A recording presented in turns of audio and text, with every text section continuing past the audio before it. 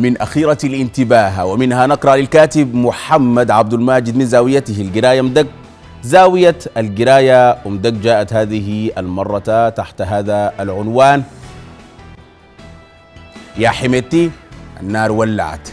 بدأ عبد الماجد زاويته بالقول كيانات وقيادات شمالية كثيرة في الفترة الأخيرة خرجت وأعلنت بصورة واضحة وصريحة وسخيفة في نفس الوقت تكوين جيوش مسلحة وكيانات عسكرية خارج رحم القوات المسلحة.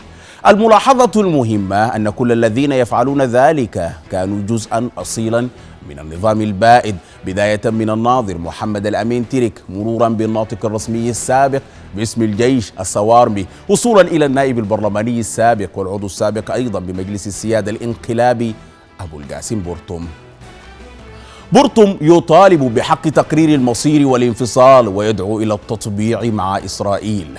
يا للهوان إلى هذا الحد وصلت وقاحتهم. مضى الكاتب قائلا الإعلان عن تكوين جيش أصبح أسهل من افتتاح محل لبيع أسطوانات الغاز بل إن الأمر أصبح أسهل من تحويل رصيد. أيقظ أمية أم نيام يعلنون عن جيوشهم كما يعلنون عن مرقة الدجاج. مواقع التواصل الاجتماعي أصبحت تضج بصور الضباط برتب عليا لكيانات قبلية دون أن يجد ذلك ردعا أو محاسبة من الحكومة.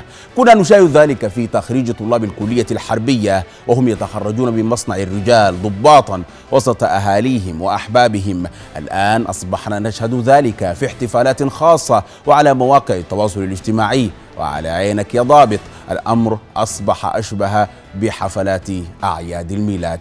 يشير الكاتب إلى أن الحكومة السودانية تلاحق مواكب سلمية يخرج فيها الشعب مطالبا بالسلطة المدنية بالرصاص والغاز المسيل للدموع والاعتقالات تحاربهم وتقتلهم وتحاكمهم بعد ذلك.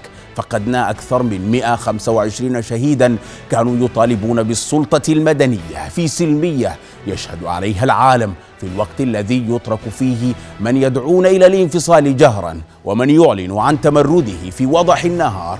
وحمل السلاح على السلطة. ماذا تنتظرون إذا كان جبريل ومناوي وأردول وهم جزء من السلطة يهددون بالحرب والعودة إلى الغابة؟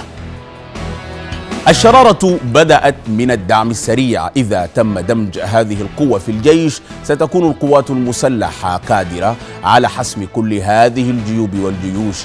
أمام حميتي مسؤولية ضخمة عليه أن يثبت حرصه على الوطن وعلى أمنه واستقراره وقوميته وذلك بدمج قوات الدعم السريع سريعا في الجيش. لا تنهي عن خلق وتأتي بالدعم السريع.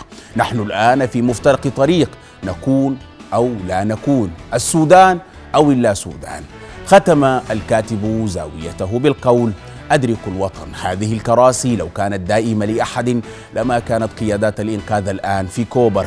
إذا هلك الوطن لم تصمد فيه كراسيكم. أول من سيدفع ثمن ذلك الذين هم في السلطة الآن. احموا كراسيكم بالعدل لا بالسلاح والقمع والدم وكل الطرق تؤدي إلى المدنية.